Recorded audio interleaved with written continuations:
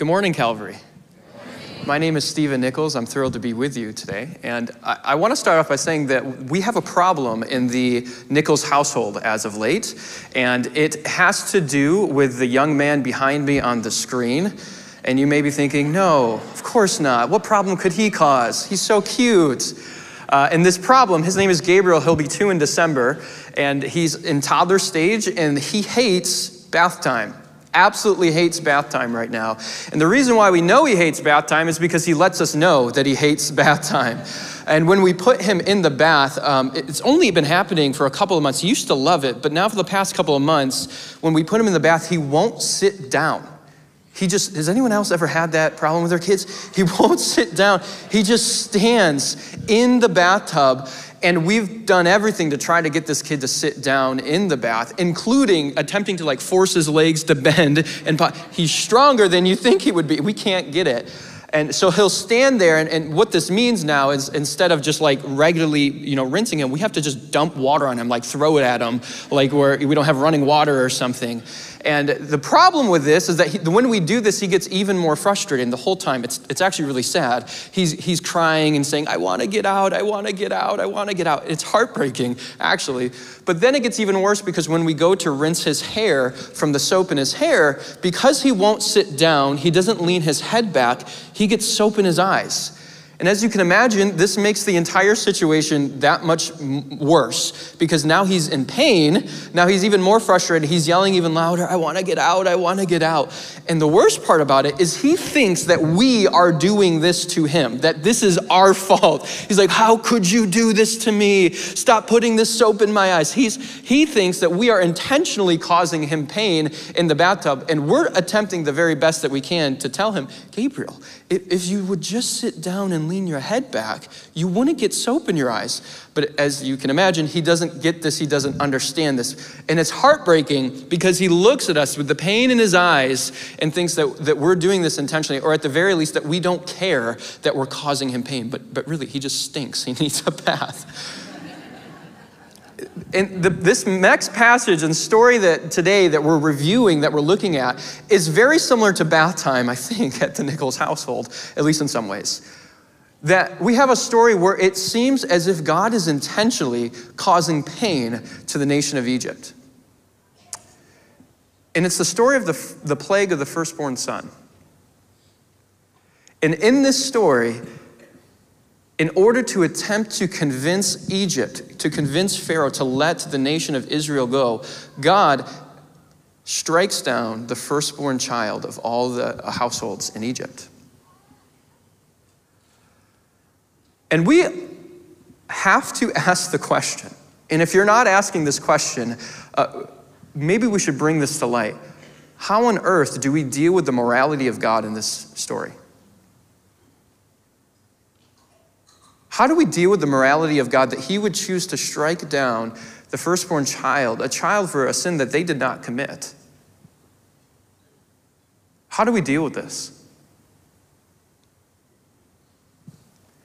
So, my objective today, what I, what I want to be able to attempt to accomplish today is I want to try to figure out how do we, how do we see a God of grace in this story? A God of grace that we believe that we follow. Is this actually a God of grace or is this something completely different all in and of itself? How do we see a God of grace in the story? So, that is, that is uh, my hope of what we will attempt to accomplish today. And I, I want to ask are you guys willing to go through that journey to ask this difficult question with me today? Are are you with me on this? Okay. And I think one of the things that we have to start off with with this story is what is motivating God to do the things that He is doing? What is activating God to take these kinds of actions? And I think that we have to start at the very beginning of Exodus. We can't forget what's happening. That in this point of time, Israel has been in slavery for 400 years in Egypt for 400 years of brutal forced labor. They are a minority group in the nation of Egypt who are being oppressed systematically. And not only that, not only is slavery, as if slavery wasn't bad enough, but Pharaoh gives the order for mass genocide. In an attempt to further oppress the people of Israel, he kills the first, or he kills baby boys and throws them into the Nile River to further oppress the, the people of Israel. This is pain and suffering beyond anything that we could ever imagine. We cannot fathom the depths of suffering that Israel is, is walking through in this time. And this is what brings God to respond. Exodus 2 uh, tells us this During those days, the king of Egypt died, and the people of Israel groaned because of their slavery, and they cried out for help. Their cry for rescue from slavery came up to God, and God heard their groaning. And God remembered his covenant with Abraham, with Isaac, and with Jacob. And God saw the people Israel, and God knew. We have to keep the plague of the firstborn son in light and see it through the lens of this passage. That the thing that motivates God to action is not anger, it is not vengeance, is not a need to cause pain on somebody else, but the motivation behind God's movement to action is compassion for his people. That he hears the voice of his people crying out, and he is so moved to compassion for them that he responds. And I want to pause first here and, just pull this out. At, the very least, if we can get nothing from this story, I want to pull this out that if God is, it is true to hear the cries of pain and groaning of his people, do you think that it is possible that he could hear yours too? Do you think it is possible that God just might hear your cries of suffering and pain, and they do not fall on a God who is not listening. So, out of this, God moves to action. He says, I'm going to do something about this. I cannot let these people continue to suffer. And he moves to action. And in Exodus 11, he tells Moses, he says, Go tell Pharaoh, go tell Pharaoh that tonight at midnight that I'm going to come through and I'm going to strike the household and every firstborn son, I'm going to strike their firstborn son so that he may know that I am God and so that he may let my people go. But how on earth do we reconcile that? How do we deal with that idea? What's funny about this plague is that it's the last plague, is the final plague in a series of plague of 10 plagues. They're famous in the Bible. And it's the very last one. We're not going to look at all of them, but I want to connect to the very first plague because I think these two are very much related uh, intentionally here. In the very first plague, plague that God tells Moses to bring Pharaoh to the banks of the Nile River. he says, In order to get Pharaoh to let my people go, I'm going to turn the Nile River to blood. And he brings Pharaoh to the banks of the Nile River, and the river turns to blood. And it's almost as if uh, God is communicating to Pharaoh and says, Pharaoh, I know what you did. The blood from the babies that you threw in that river, the blood is crying out to me for justice. I know what you did. You thought that you got away with that, Pharaoh, but you did not. You cannot, I cannot allow this to happen. And more than that, he's also communicating to Pharaoh in this moment. He says, Pharaoh, unless you change your ways, unless you change your heart, unless you do something different, then this blood will be the same thing that happens to your people. And he is giving them a warning. He says, the very action that you have displayed on Israel, I'm going to turn onto your head and do the same thing to your people. And he gives them a warning, a warning in which Pharaoh never gave Israel. And he doesn't just do it once, he does it nine times. It says, Pharaoh, change your heart. This is coming. The consequences of your actions are coming. Change your heart. Let my people go, or this decision will be turned back on your head. And as foreign as this sounds, I believe that we are meant to see these plagues, these strikes, as an act of grace. That the purpose of these plagues is not to inflict pain, it's not to just get back at, at Pharaoh. The purpose of, this, of these plagues is to provide warnings for Pharaoh. Say, Pharaoh, unless you change your way, destruction is coming for you and your house. And God is pleading with Pharaoh to take a different course of action. That these judgments can be seen as an act of grace. And I want to name this first because I think this is one of the fears, at least that I have felt. I know that many others feel too. That uh, we think when we read the story that we say, well, if, if, if this is how God responds, does that mean that if I sin or if I make a mistake, if I mess up, whether in the past or present, is God going to respond in a similar way? And we become very frightened and fearful. I don't know about you, but that hits me. It's like, oh, I should probably get my, my stuff in order. And, and here's what I want to say I want to pause and, and, and reflect for a moment here.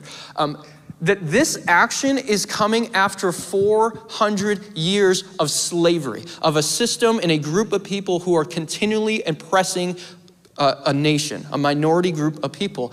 And on top of that, there's mass genocide happening. That, that your sin and this sin are not the same.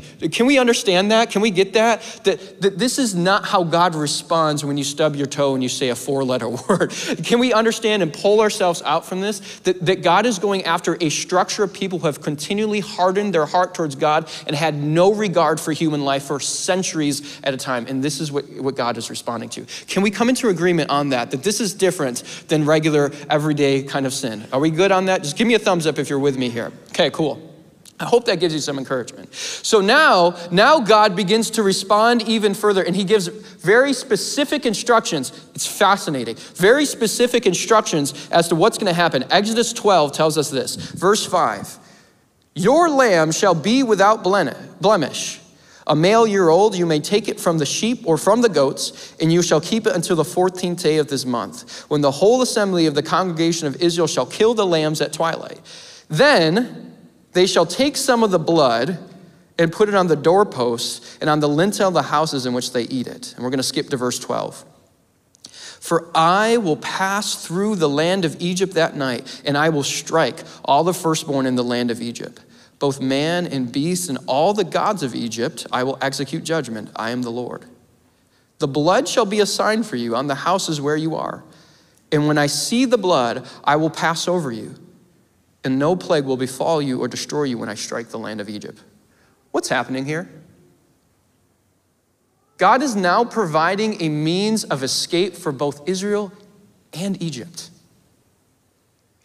that he's telling them that if you take this lamb and you eat this lamb and have your feast and your meal with it, but then take the blood of that lamb and splatter it over the doorpost of your home, that if you do that, when I enter the land of Egypt to strike and I see that blood, I will pass over that house, and your family, your home, everyone in your household will remain safe. He's providing a means of escape. Even still, after nine plagues of attempting to convince Pharaoh, even still, he is providing a means of escape, a means of grace. And while Pharaoh, Pharaoh didn't use any discretion about which boy he killed, he just said, All boys, throw them into the Nile. God says, Just the firstborn. And as a firstborn son myself, I'm a little like, okay, why are you picking on me here, God? Why, why are you, I don't, why does my brother John not, you know, get to get, you know, this, why is he not in danger, you know? Uh, but, but I think, and we know this from, from ancient culture, that the firstborn son was the future of the family. That the land, the possession, the wealth, the will, everything went to the firstborn son, right or wrong, whatever, that's just how it worked. And, and their future was secured in the firstborn son. So get this when God says that if you put this blood over the doorpost, he is essentially saying that I will save your firstborn son and your future, your future generations will be secured if you listen and trust in the name of the Lord. Grace. However, if you listen to the voice of Pharaoh, I will not, I will not allow your future generations to continue to oppress my people. She says, if you put this blood over the doorpost, you will be safe. Gets weird. You guys ready for some weird stuff? As if it's not weird already, right? So God continues to speak uh, and, and, tell Moses the instructions in, in verse uh, in chapter 12. And in verse 12 and 13, it's the first time that God says that he will pass over the house, that he will go over the house that has the blood on it. It's very, very interesting that the first time he says this word Passover, it's a Hebrew word called pasah. And pasah is really interesting because the word literally translated means to limp or to hobble. So it's like it's like God is saying that I when I when the blood's over the doorpost, that I will limp and hobble through Egypt. Which doesn't seem to make sense. It seems really out of place. And in fact, we're not the only ones who think so. The ancient Hebrew scholars, when they would translate this word into Greek and Aramaic, they would translate this word to protect or defend. So this verse could quite literally mean that when the blood's over the door, that God will come through the land of Egypt and he will protect and defend the house when he strikes. Which is interesting, because who's he protecting and defending the house from? Himself? What, what is he doing? Does he have schizophrenia and he's just like, he, he has two personalities? He's. What, what is happening here?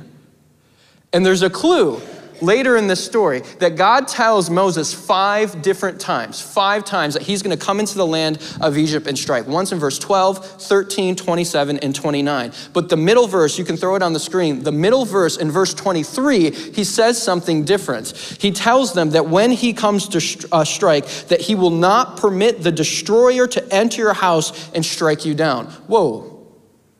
Who's this destroyer now?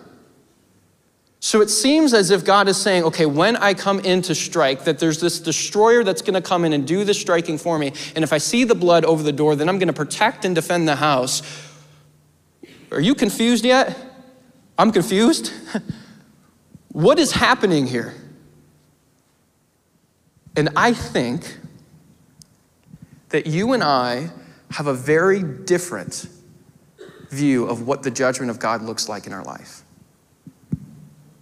You and I think that if we do something wrong, if we sin, if we make a mistake, that God's just going to come down He's going to smack us uh, until we learn our lesson. He's going to hit us in the mouth so that we can learn and that we can make the right decision. But I believe that the biblical authors had a very, very different idea of what the judgment of God looked like in their life. And they see and they describe this world in which God is sustaining the world through His mercy and through His grace. And He separates light from darkness, He separates the land from the sea, and He's holding the world in order, and He's sustaining this, this world world. And because of our sin, because of the evil that we have brought into the world, that the forces of darkness are constantly pressing up God's protection and grace, that they are batting against his protection and grace. But God, in his grace and mercy, is holding it at bay. And what happens is, is that there will come a time that when God sees that we are no longer wanting to listen to him, that we don't want anything to do with God, we don't want anything to do with his grace or protection, that he will say, I will give you the desire desires of your heart, and He releases the protection and allows the consequences of our own actions to take a full effect inside of our life. Romans 1 talks about this extensively, and in that verse, it tells us that, that the wrath of God is being revealed. Three different times it says this that God will give us over to our sinful desires. It's not what He wants, it's not what He has for us, but He says, But if this is the choice that you want, that you want a life without me, that I will hand you over to the consequences of your own decision. And He's releasing this, uh, this protection. And I think what is happening in this story here that, that God is giving Pharaoh opportunity after opportunity after opportunity, holding this protection in place, but eventually God releases this protection and allows this destroyer to come in and give full effect to the consequences of Pharaoh's actions that Pharaoh is now feeling what it feels like of the consequences of what he has done to the people of Israel, and he's having that re put back onto his head.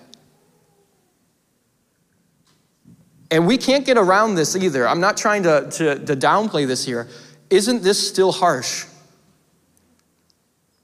Is that, well, maybe God's not actively slapping them, but He's allowing it to happen. Is it not still harsh? And I'll say two things. The, firstly, I'm not going to sit and pretend that I know all of the answer to this. We have to deal and wrestle with this tension. And I think God invites us to do so. I don't think God's afraid of that. But I also have to say that we have to remember who Pharaoh is.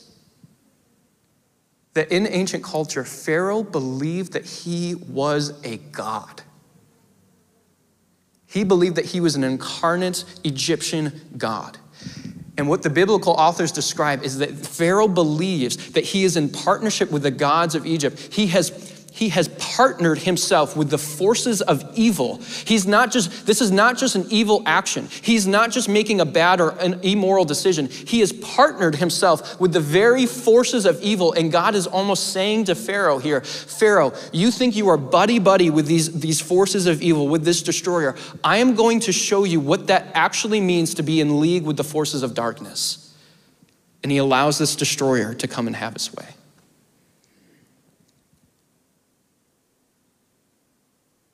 The thing that motivates God to action every single time is compassion.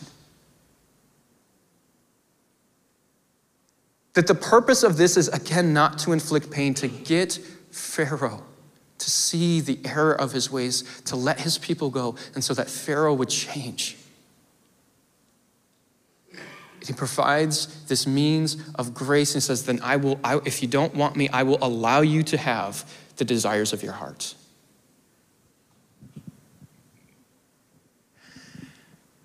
I think it also forces us to ask the question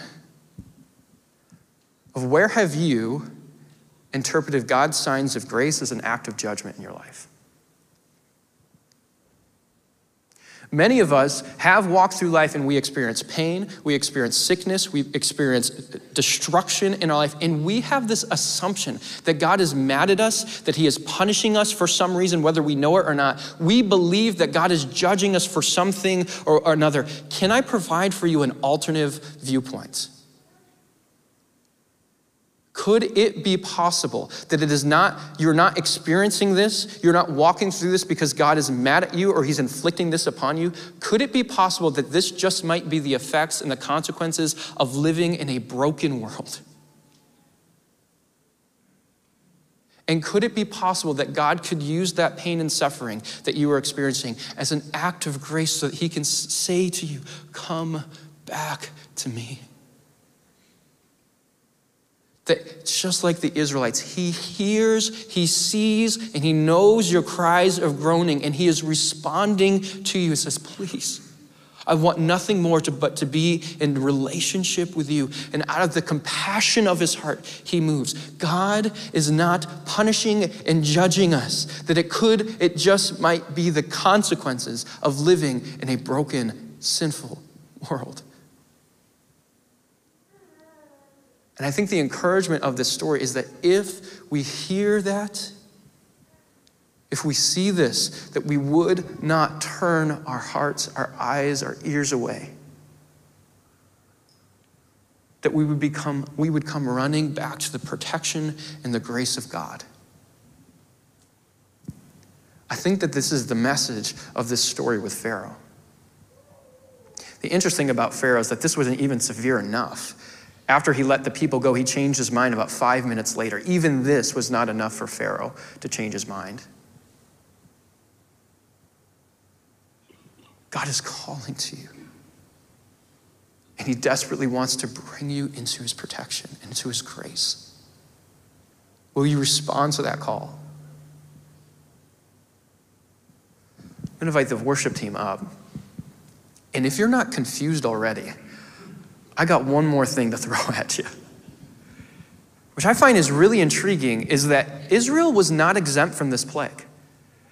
That their firstborn son was also in danger from being struck down. And I have to wonder why. What did they do to deserve this? Like, they, they didn't do anything wrong in this scenario. Why were they in danger of the firstborn plague? And I think as God often does, that God is working in the confines of the story, but as He often, often does, He is doing and He is showing Israel and us something so much greater. In chapter 12 of Exodus, uh, that God kind of stops the narrative. It's a story and you follow along with these characters, but he stops the narrative and gives instructions about this event to Moses. And he tells Israel and Moses that today, this day, every year from now, you are to celebrate this day as the day that I saved you from Egypt, that I brought salvation to your people. You are to celebrate this as the day that I saved you from the plague of the firstborn son. And I want you to remember and celebrate it. And it's this huge celebration. It's like the Jewish Christmas that they call Passover. And they celebrate this. It's a week long celebration. And would you believe me if I told you that Jesus timed his death 1,000 years on Passover?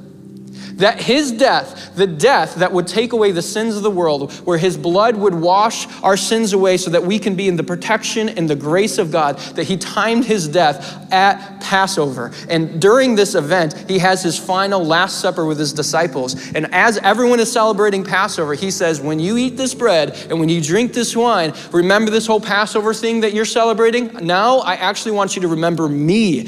And Jesus is making the audacious claim that he is the Passover lamb, the lamb that they sacrificed to cleanse their sins and to protect them, that Jesus is that Passover lamb. And he goes to this cross so that you and I, you and I can be in the grace and in the love of the Father. And God is screaming, calling, begging to you, saying, Return to me. Trust in the name of Jesus, and you too can be saved. That He is this Passover lamb. And get this He holds the authority and the position of the firstborn son. That what was meant for us, he took upon himself and says, If you trust in me, if you follow me, that you too can be saved. And my hope for you is if you hear his voice, do not run. He's calling out to you. You think He is a God of anger and judgment. You think He is mad at you, but He wants nothing more than relationship with you, and He will move kingdoms and mountains and earth to be with you. Will you respond to the grace of Jesus, to the compassion of the Father? Let's pray. Father, we come before you. And we thank you for your grace. And Lord, we admit we don't understand the severity of the story and it makes us uncomfortable. But Lord, I pray that we don't run from that, that we wrestle that with you in prayer, that we bring it before you and we, we go back and forth and allow this story to mold us so that we can see you in a way of grace and compassion and love for your people. We're so grateful that you hear us, that you see us and you know us. We pray these things in Jesus' name. Let's stand and respond to God in worship.